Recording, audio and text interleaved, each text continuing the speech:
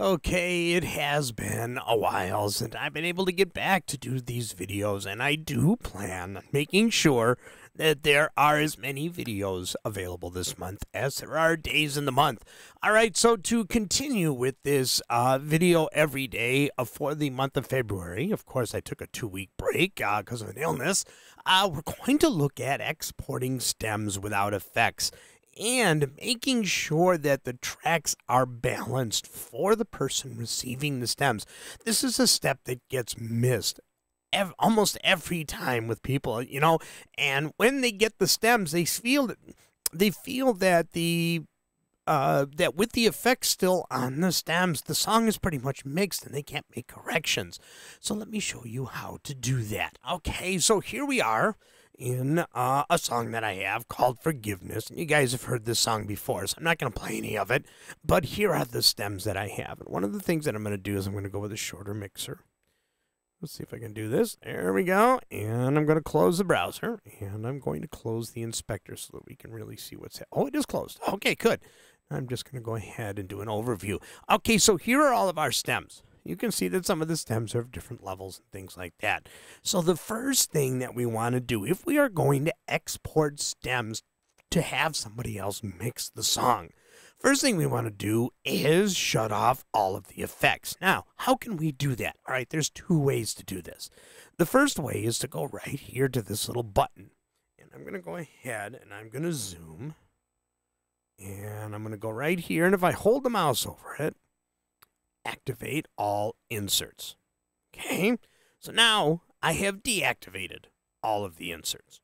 So now let's go back. Now let's check it out. So let's go ahead with the tall view of the mixer. There we go. And you can see that all of the inserts have been deactivated. Just like that. If I turn them on again, boom, there we go. We can see that the uh, tracks that have inserts, all of the blue dots have come back on. Off.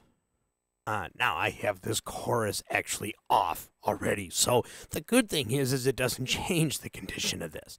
So here we go. I have actually turned off all of my effects. Now the one thing I didn't test, and I'm going to do that now, is sends. Okay, so let's see. Do the sends get turned off too? Yes, they do. So even the sends get turned off. Okay, so you know that all of your effects are off. Let me see if I can balance this out. Watch this. You can see how all the sends are different levels. If you hold the control key. Oh, maybe not. Okay, I'm on a Mac. I keep forgetting. If I hit the command button, and there we go.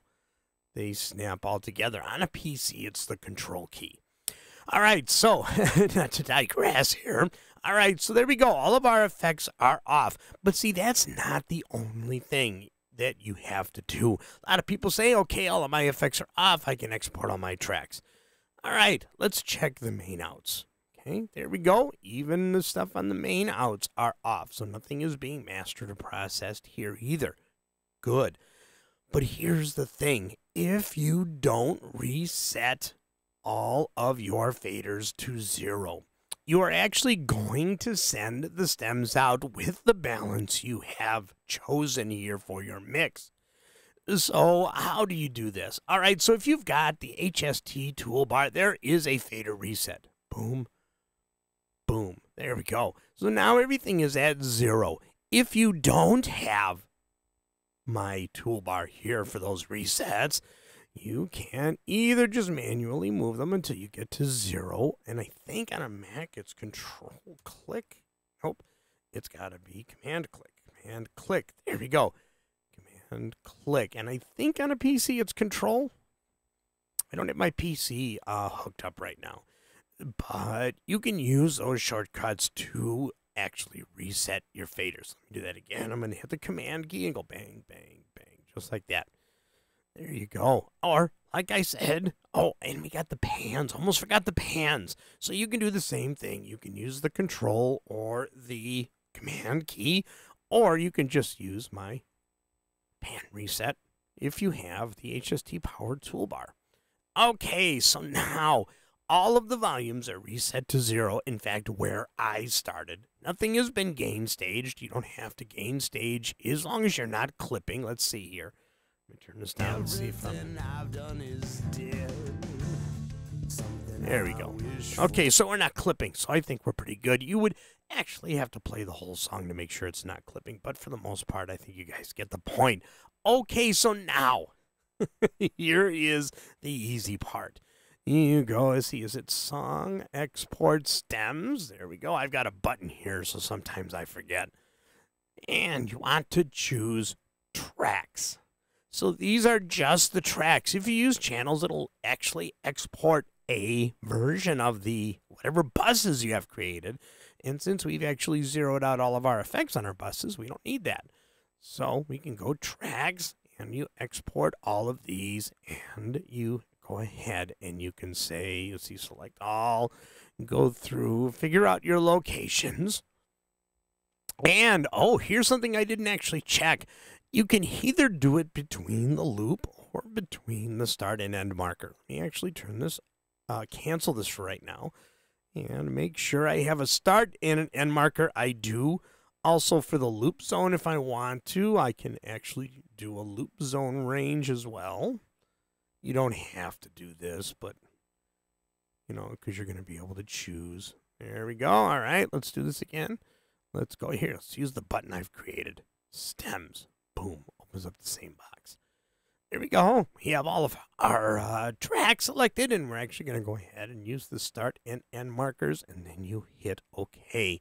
So make sure that you choose the location that you want the uh, stems to go to. Make sure it's in a folder, and you can zip up that folder and send it out.